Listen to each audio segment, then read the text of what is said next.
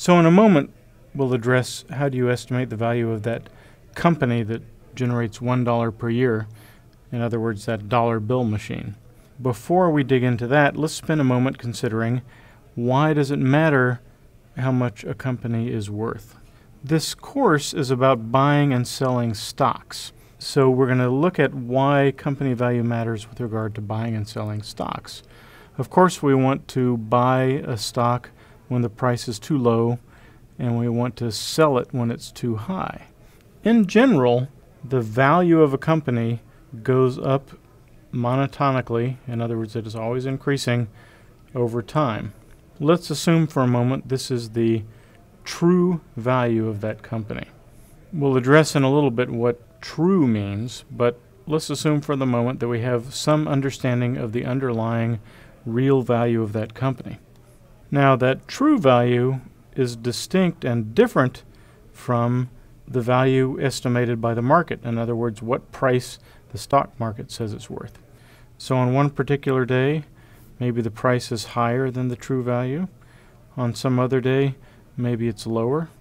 And on some other day, it's the same very many trading strategies, which is what this course is about, focus on identifying situations where the current stock price is different from the true value.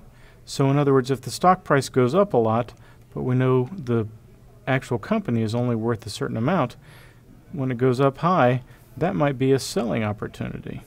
In other words, if we see the price up here and we know the true value of the company is down here, sell it.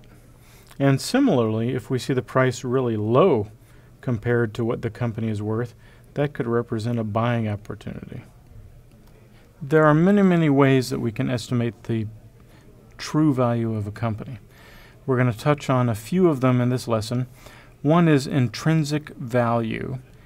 This is based on the value of the company as estimated by future dividends. In other words, companies pay, many companies, not all, pay each year or each quarter a dividend. So it's a cash payment. If you own a share of stock, you get a certain amount of dividend. For instance, for Apple this year, that's about $2 per year.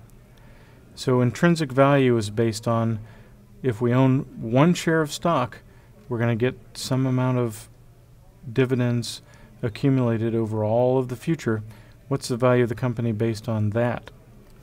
Another is book value, which is based on the assets that the company owns. So, in other words, we add up the value of all the factories that they own and so on.